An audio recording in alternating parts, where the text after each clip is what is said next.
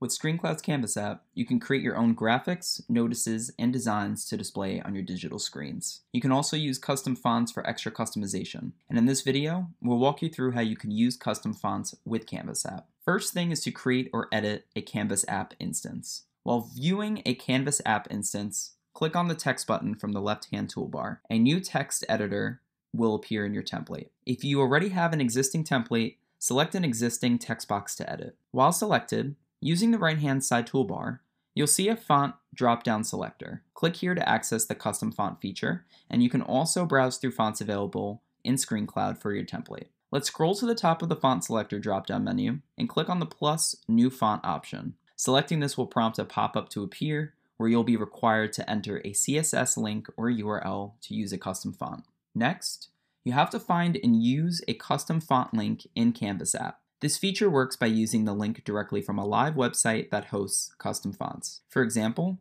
you can use popular web services such as Google or Adobe. In this example, we'll walk through using a sample Adobe font code. You will need to copy and paste a custom font URL from the web source. Once you've copied the CSS link or URL that you would like to use, Simply copy it into the pop-up menu for your custom font. Please note, the CSS file must be web hosted and the font family must match the font family name within the CSS file provided for it to work properly. Once you are done, click submit and now you can access your custom font at the top of your font drop-down menu list while editing your Canvas app template. You can now use this custom font at any time while customizing your graphics and designs with the Canvas app. Have any questions? Feel free to get in touch with our support team by emailing support at screencloud.com.